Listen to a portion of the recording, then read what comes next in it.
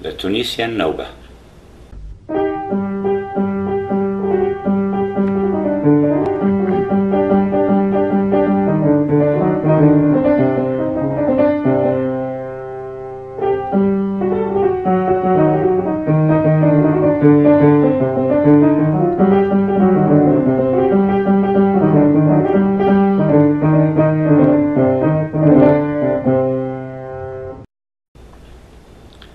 last tour with the Nauba is with the Tunisian Nauba.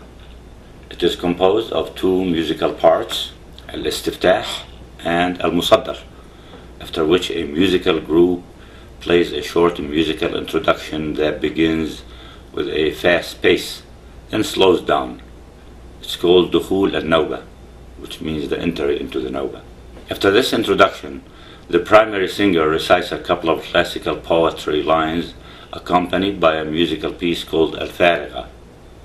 It is noticed that in the two poetic lines are musically improvised and were first initiated by the well-known Tunisian singer Khumais Ternan.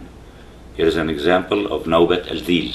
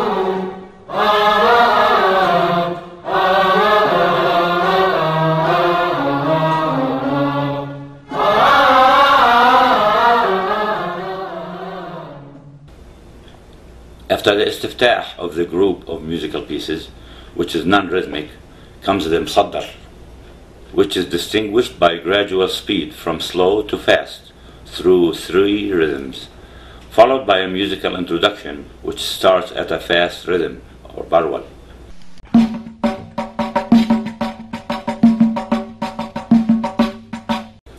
Then it slows down into the Btaihi rhythm or dukhul.